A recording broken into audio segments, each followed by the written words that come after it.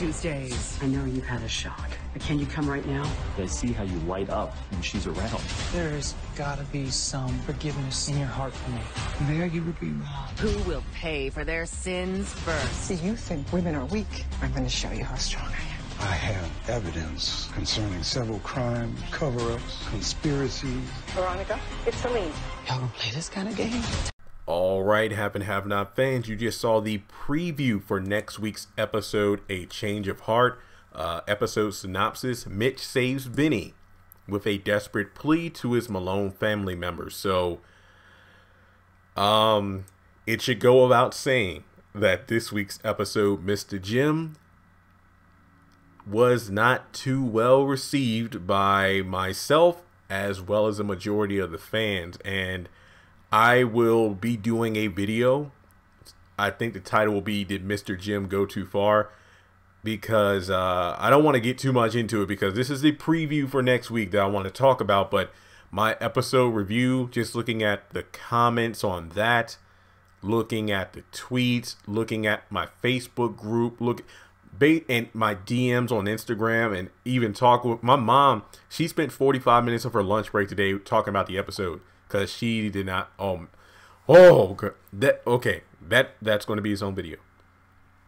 But for this particular preview, uh, guys, just so you, if you're new, uh, the preview I just showed you is the preview that came on during like the commercials right after the episode ended.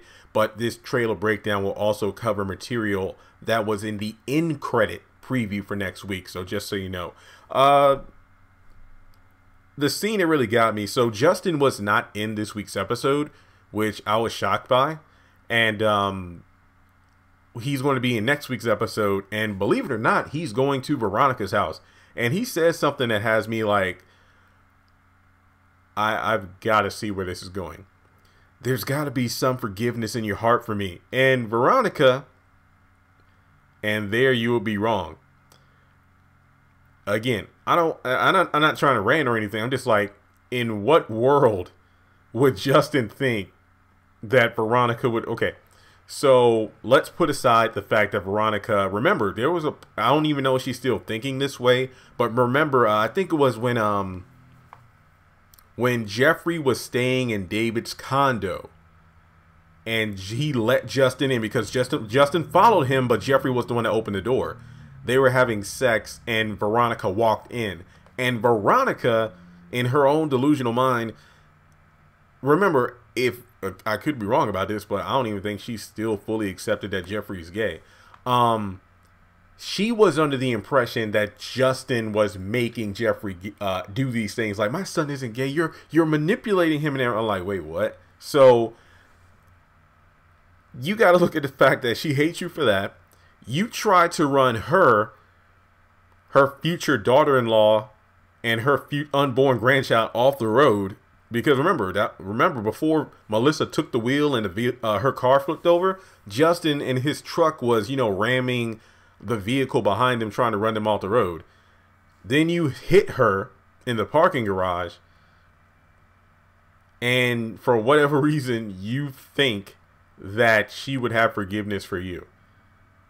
Right. So like I said, I don't know what kind of what what he is he is Justin doing a forgiveness tour or whatever the heck he's doing, but I am interested to see how this scene is going to play out to say the least. Uh, next up, we got Celine to Jim. You think women are weak? I'm going to show you how strong I am. And then in the preview, we hear uh, Celine talking. So uh, Veronica, this is Celine. Because remember, um, the night before, and remember, I'm talking about the haves and have-nots timeline. Oh, no, actually, I'm sorry.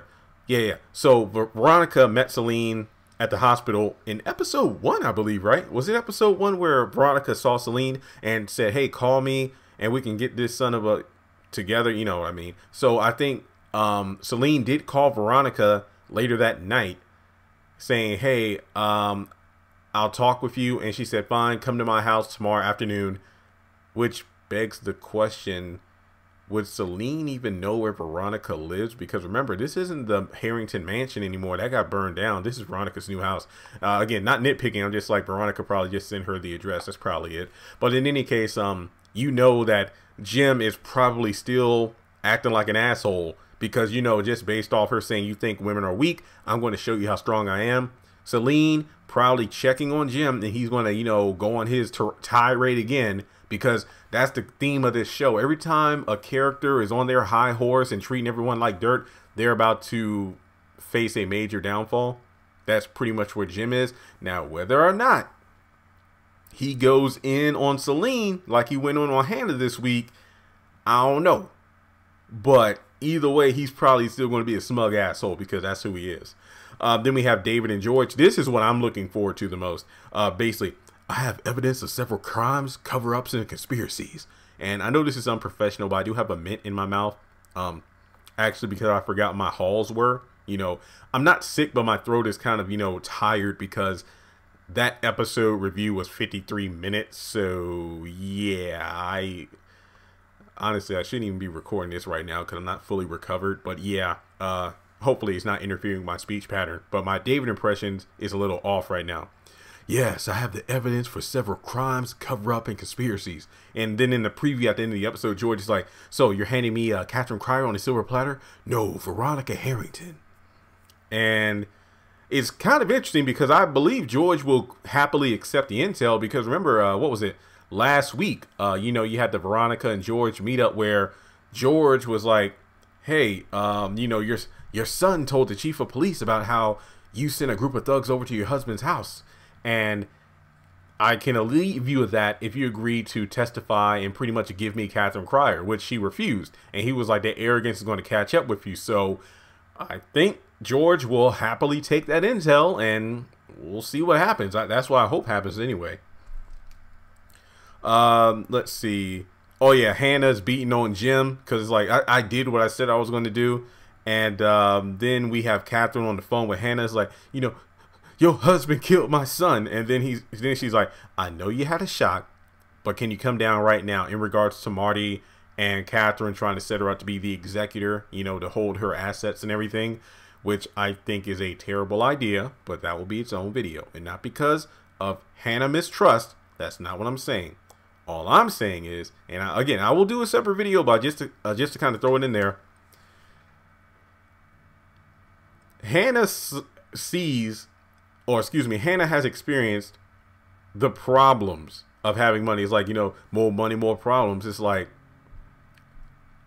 through ill gotten gains, her children have taken and kept damn near 9 million because it's like 8.8 8.7 i know they keep saying 8 million but it's damn near 9 million but basically 8 million dollars jim has threatened harassed did all kinds of stuff so now you're telling me katheryn you want me to be in charge of all of your assets. Like, yeah, even though you're the one who's trying to get me legally set up to hold on to this stuff, what makes you think Jim and whoever else won't try to come after me for it? So literally, things are getting jacked up. And I want to take it even further. Going back to the episode synopsis, Mitch saves Benny with a desperate plea to his Malone family members.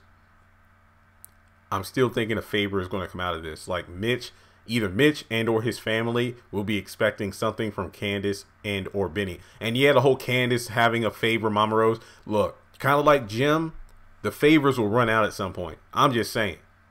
So if Candace would, and again, I don't want to go into this like rant phase because this for another video, but I have to say this like if Candace would have just given the damn money back, then Benny would have been let go, and this would. But then, okay, you know, I'm done. I don't want to. I don't want to get into that mood again. Okay yeah, Katheryn and Hanna. Uh, Landon telling Charles that, you know, he's a lot brighter and happier whenever Candace is around. So he's trying to still vouch for Candace and Charles getting together. We get a brief non vocal scene of, you know, Jeffrey Owens in the episode or Conley. Conley's going to be there seeing uh, Charles as well. And, uh, what is it? Madison is in the room out of bed, still naked, and he's like, come on, what's something's going on? It's like you don't even look at me or something like that. Whenever you're in the room, he's like, I'm just trying to show you respect. Well, I don't want to be respected, and I'm like, I think Tyler kind of turned on the thirst meter on Madison a bit too much. It's just like I don't really like what they're doing with his character right now. So I don't know, but uh, oh yeah, funny scene where Katheryn's like, so did they tell you that uh, there were no charges against you? Wait, there's not. Hell no. I mean, hell yeah, we're pressing charges. Wait, against your own son, the son that tried to kill us and shot at us. So, yeah, once again, Wyatt is delusional as hell. So that's pretty much the trailer for next week. Um, not it, it looks promising. It does. I honestly think that this trailer has me more excited for next week's episode than last week's trailer had me for this week's episode, to say the least. But um, yeah, guys, uh, just a quick little disclaimer, and I will go over this again in my video about Mr. Jim going too far. Like I said, that video did kind of take me out my episode review. So for the sake of my voice, I'm not going to record anymore today. This will be my last video of the day. Um, I'll put up more content. What's today? Wednesday? Yeah, I'll put up more content on Thursday. Uh, some people told me to check out Cherish the Day. And uh, what's that show on ABC? Is it called um, For Life? I've been hearing decent things about that. So I'll check out those shows, but a little later in the week, either like on Friday or over the week. Look, Valentine's Day, I'm single. I ain't got no plans, so I'll probably be watching those shows. But um, when it comes to the episode review, I I'm not sorry for anything. Just to let you know, like when I do these reviews, they're honest, they're to the point. Um, because I know some people, I, I I was engaging in comments because uh, I just saw how quickly comments were uh, piling up, and uh, the the darn video had well over hundred comments within the first couple hours of the video being up, the review, and um, yeah, the episode was the lowest rated episode I've ever given an episode of Haves and Have Nots. And to some people are just criticizing me, I said one of the worst episodes, not the worst episode. And like again, some of these people who comment, and again, I'm not like giving the trolls energy and whatnot, because there are people who agree with me. Other people like, yeah, I think a five out of ten rather than a three. That's okay. That's what the video, that's what the channel is for, for communication. I'm not looking for everyone to agree with everything I say my theories, my reviews and whatnot. I pretty much use the video as a platform and then the comment section is the audience. That's where we can all communicate together. But um I honestly didn't think about it while I was recording the video because somebody was like, "Yeah, it's like I felt so off put by the Mr. Jim stuff because it's Black History Month and we got that mess playing." And I'm like, if I would have thought of that during the episode review, would have got a lower score. But I stand by what I say. Uh, I have been noticing a large number of people who have flat out said, whether it be my Instagram DMs, in my Have and Have Not Facebook group, in the comment section of these uh, videos on Twitter, they are done with the haves and have nots. Last night's episode, wow, the um, it's real. Like I said, I'm going to do a Mr. Jim video and I will go over like I want to let the episode review kind of marinate for a day or two. The Mr. Jim thing, I'll probably do that video on Friday or something. I just want to really see more about what the uh, fan base has to say, just because you know I posted the damn video like at before five o'clock this morning. Then I know some people obviously work in school, so maybe the uh, comments will continue to come in. But this episode just was wow. I have no words, but let me know your thoughts in the comment section below about next week's episode, which does look better in my opinion. Um, are you still watching the show? Like, I'm not quitting the show. Like, I'm not. I'm just like that. Last night's episode, like, was off-putting to me to say the least. But with all that being said, make sure you subscribe to the channel. Uh, follow me on social media. Links are in the description below. Uh, make sure you hit the bell notification icon. That way you don't miss out on any new content. And like I said before, I will definitely give For Life and Cherish the Day a shot. I'll watch them. I do believe Cherish the Day is a two-night premiere event where it's two episodes. So I'll watch those back to back. And then I'll watch For Life and I'll probably do videos, you know, going over them. But like I said before, um, check out the episode review. Like I said, it is 53 minutes just to let you know, I even say it at the beginning. Hey, I gave the episode this score, but for the sake of, you know, not being an entire rant video, during the first 25 to 30 minutes, that is strictly review. But then the back 15 to 20 minutes of the video, I go in. Like, because I know some people like, yo, man, uh, because a couple people like, you know, your energy's off this season, but it's like it's season seven, the gloves are off. Like, if there's something that doesn't hit right, I will let you know. And plus the scores, like they might be all over the place, but again, it is season seven. Some of this stuff needs to be moved forward with in terms of the story. And then last night, like I said, three out of ten. It's just because the the episode was not that good. So if you want to just sit back, relax, and have like almost an hour long thing to listen to, that's the episode review for you. Um, but yeah, I can't wait to see what happens over the next couple of days because people were not feeling Mr. Jim whatsoever.